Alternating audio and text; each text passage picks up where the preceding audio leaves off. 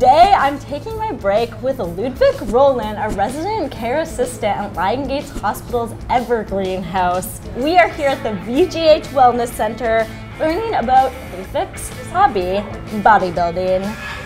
Hey Ludvik. Hello. How's it going? Good, how are you today? Good, I'm ready to bodybuild. Perfect. Great, let's get to it. Yeah. Smile.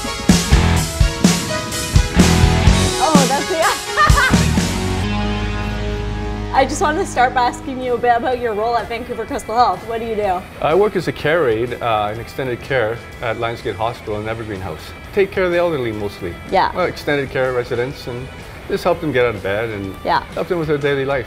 Why do you choose to work in long-term care? My mom was the biggest reason. My Okay. mom worked at the hospital and uh, I was going to a bodybuilding contest one time years ago and uh, got into an accident. And then as I was recovering, she goes to me, what do you want to do? And uh, I said, I don't know. So she recommended that I try uh, becoming a care aide because I needed care aides at the hospital. Back then, they didn't have lifts and not the equipment that they have nowadays. And you know, me being a weightlifter, they could use my help. So I decided, you know, give it a shot. And so I did, and they've been good to me ever since. Why did you get into bodybuilding? Uh, I enjoyed it. I first started boxing when I was 15, and then through hard training, my friends noticed my body change a bit and say, you should try some weightlifting. Yeah. And so I started going to the gym and never looked back.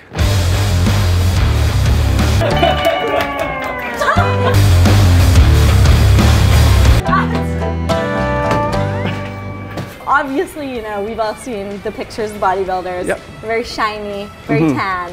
What are you putting on your body before competition? Well, what they do now is you go into a spray booth and they spray a tan on you. Okay. Okay, and then after that, th- well, you do, do two coats of that. Okay. One the day before, the one usually the morning of. And, Yeah. And then before you go on stage, they put on a glaze spray. How long does it take for you to get that off? Like how many showers are we talking? Oh, it takes about a week. Okay. Just make sure your hands are evenly spaced. Good. A little bit wobbly, that's normal. So, what are three things about your role that you think would convince someone to want to do this job? You work with great staff. Yeah. Uh, pays fairly well. Yeah. You know, it's, it's good to help people. Yeah. It's uh, fairly satisfying. you Yeah. know. So this is kind of an interesting fact. You have worked for Vancouver Coastal for 30 years, which is pretty long. How does that feel?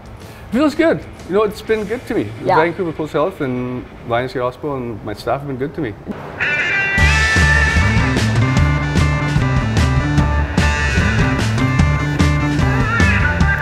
Ludvik, now that we're done our bodybuilding session, what are you looking forward to about going back to work? I'm looking forward to going on my breaks and eating. Yeah, me too. Okay, let's do it. Great.